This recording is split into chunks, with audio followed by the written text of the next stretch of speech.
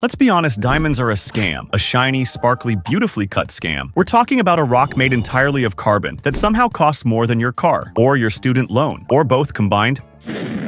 But wait, carbon as in the same stuff in pencil lead. The stuff that comes out of your grill after a barbecue, the same basic element in charcoal. Yes, that carbon. So, how did we get from BBQ briquettes to Beyonce's engagement ring? This question isn't just about geology. It's about marketing chemistry, psychology, history, and yes, some serious emotional manipulation. Because hmm. diamonds aren't just expensive, they're designed to be expensive. So buckle up. We're about to dig deep into the earth, deeper into human behavior, and possibly the deepest into your wallet.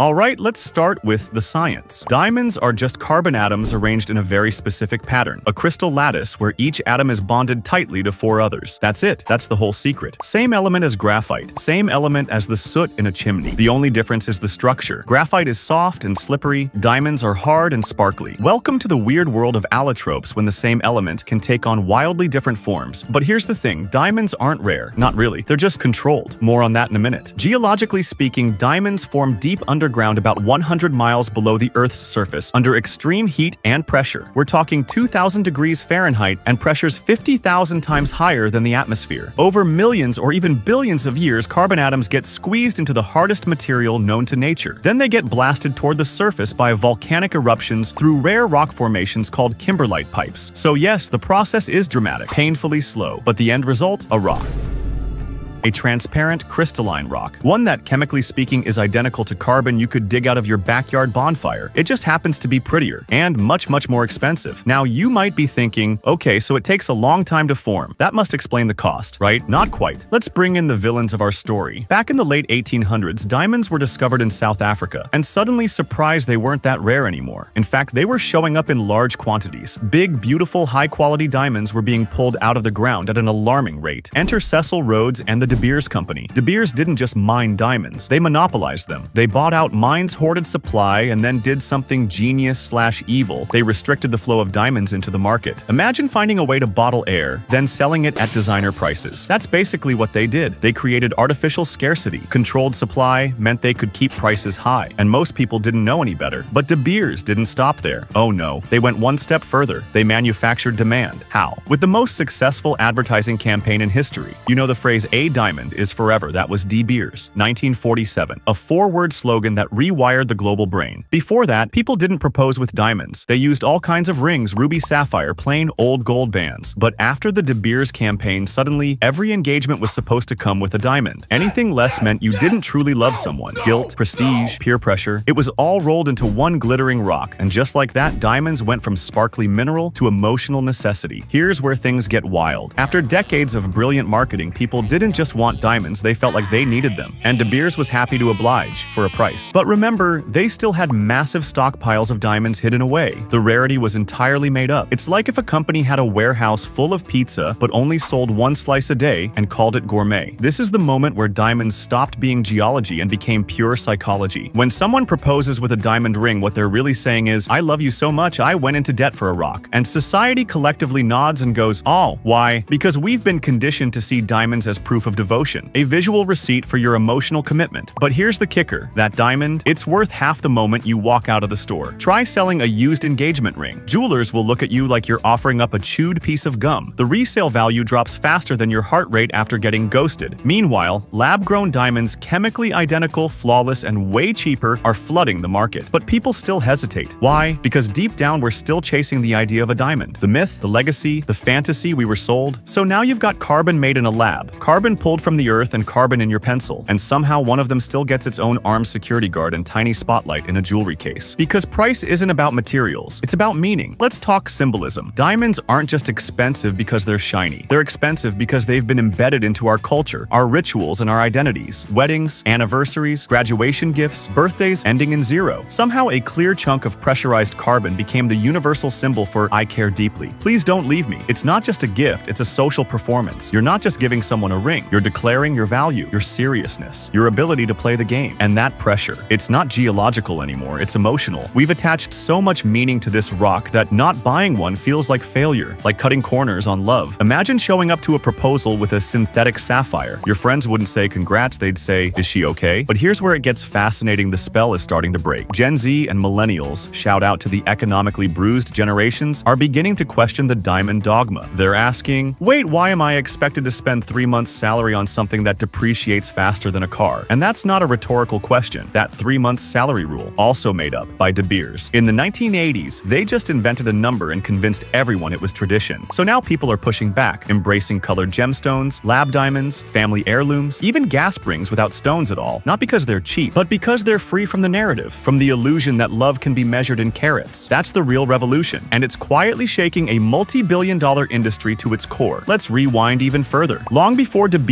or marketing campaigns, or Instagram proposals, humans were already obsessed with shiny things. Ancient cultures from India to Egypt to Mesopotamia valued gems for spiritual, religious, and status-based reasons. Diamonds were seen as talismans. They were thought to hold supernatural powers, even offer protection in battle. In some parts of medieval Europe, diamonds were ground into powder and eaten as medicine. Spoiler, it didn't work. Also, don't try that. The point is our fascination with beauty, especially rare, shiny beauty, is deeply human. We're visual creatures. We're drawn to things that sparkle, firelight on polished stone that hits the dopamine button hard, and diamonds. They sparkle like nothing else. Thanks to their incredible refractive index and dispersion rate, diamonds don't just reflect light, they bend it, break it, and throw it back at you in tiny rainbows. That sparkle isn't just aesthetic, it's physics flexing its muscles. So yes, there's real science behind why diamonds look so mesmerizing. But again, mesmerizing doesn't have to mean expensive. You can get the same optical thrill from moissanite, or zircon, or even a really well-cut piece of glass. But we're taught that only diamonds count. Why? Because someone somewhere decided that meaning had to cost money. It doesn't. And maybe the most rebellious thing you can do is believe that. Let's shift gears one more time. There's a deeper question beneath all of this, what makes anything valuable? Think about it. Gold is just a metal. Paper money is just fiber and ink. A Picasso is just paint on canvas. Yet we treat these things like they're sacred because we've agreed they are. Value at its core is a social contract, a collective hallucination.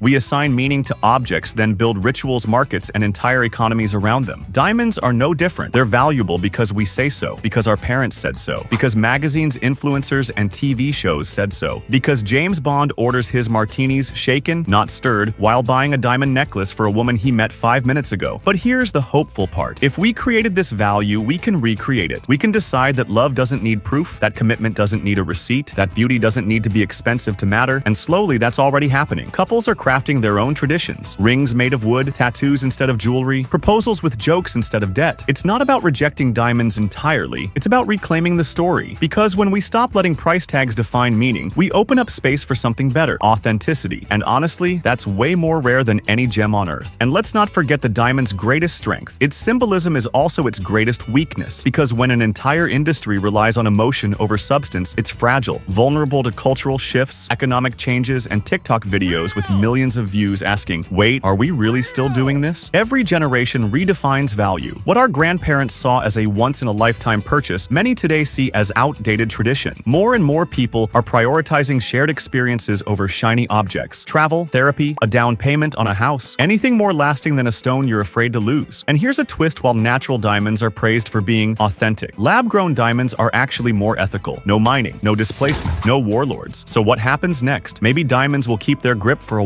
while longer. Maybe they'll fade into nostalgia. Either way, the question remains if diamonds are just carbon and carbon is everywhere, then what exactly are we paying for? Spoiler alert, it was never the rock. It was the story we wrapped around it. And now maybe it's time to write a new one.